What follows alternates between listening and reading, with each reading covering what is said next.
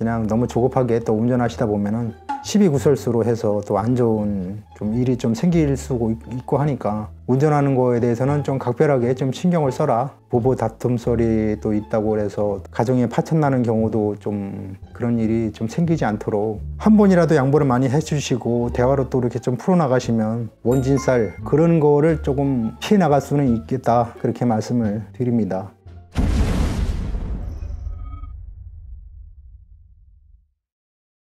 반갑습니다. 백령 법사입니다.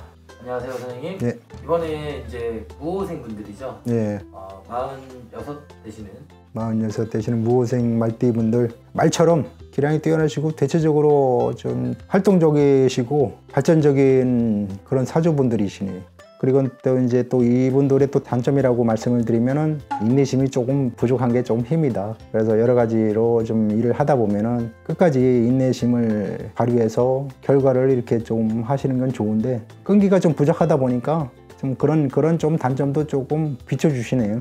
그리고 또 이제 상대방을 조금 많이 배려를 하고 또 이렇게 친숙하게 자연스럽게 지낼 수 있게 그렇게 또 하시는 그런 성격분들이라고 그렇게 말씀을 드릴 수 있겠고 그리고 또 마찬가지로 이런 분들 의리가 조금 남달리 좀 많이 크- 크게 있으셔가지고 그 남의 어려운 거를 지나치는 거를 좀 싫어하세요. 그러다 보니까 진짜 어, 발벗고 이렇게 도와주는 그런 성품도 조금 있으시고 그리고 또 이 이런 분들은 또 이제 직업으로 좀 운전하시는 분들 그냥 너무 조급하게 또 운전하시다 보면은 시비구설수로 해서 또 안 좋은 좀 일이 좀 생길 있- 있고 하니까 운전하는 거에 대해서는 좀 각별하게 좀 신경을 써라 그렇게 좀 말씀을 드리는 거고요. 그리고 또 어, 이분들 이제 모생분들도 보면은 그 상당히 좀 근면 성실하시고 또 그런 그런 성실한 성격으로 나중에 이제 경제적으로 좀 어려움이 좀 처했을 때는 지혜롭게 좀 잘 해결해 나가려고 그런 노력도 좀 많이 좀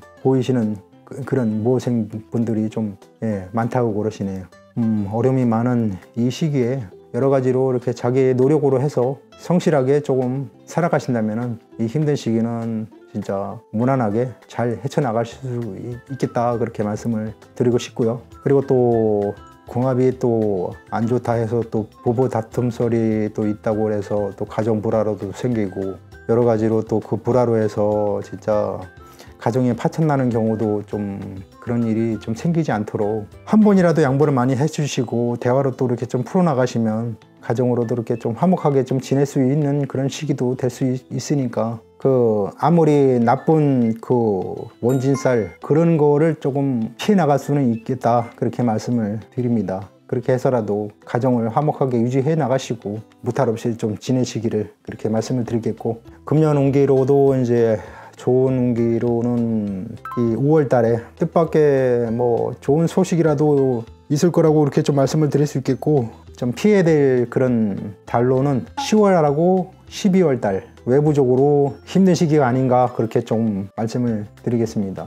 가정이 편안하면은 밖에 나가서도 그 나가서도 진짜 편안하게 일 처리를 수월하게 잘 해결을 나가세요. 그렇기 때문에 제일 중요한 거는 가정 화목이 제일 중요하고 그렇게 해서 가정 화목으로 해서 건강하시고 좋은 운기가 올 때까지는 진짜 서로 간에 이렇게 조금 화합하는 방법 방법이 제일 중요하시고 이 금년 운기도 아무 무탈 없이 그렇게 지내시기를 그렇게 말씀을 드립니다.